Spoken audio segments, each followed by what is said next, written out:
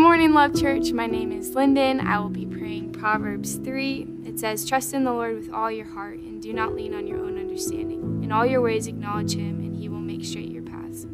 I love this verse because I need the constant reminder that I can trust in the Lord and that His ways are higher and better than mine. So, Father, I just um, thank you for your understanding. I thank you that when we don't understand and when we don't know what it looks like to move forward, trust it and we can trust that it's for our best um, and it's always your best when we lean into what you have for us. So god i just pray that you would help us to trust in you and not to rely on our own strength.